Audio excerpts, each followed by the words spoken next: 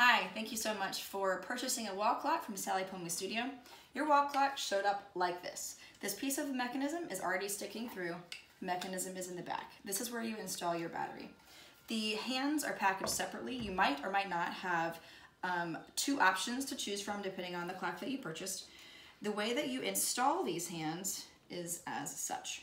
You have a big hand, which has the biggest hole first.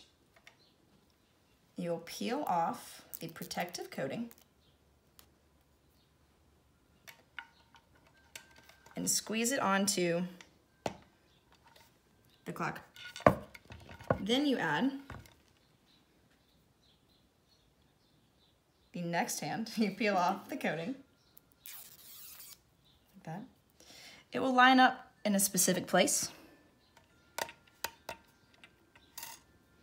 Then you will put this tiny little nut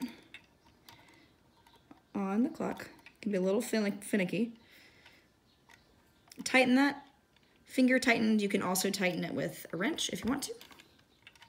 Then you'll have two options between either the second hand like this or just the peg. Either one works fine.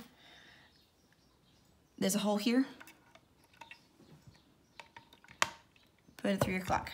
Then you set your clock at 12 o'clock.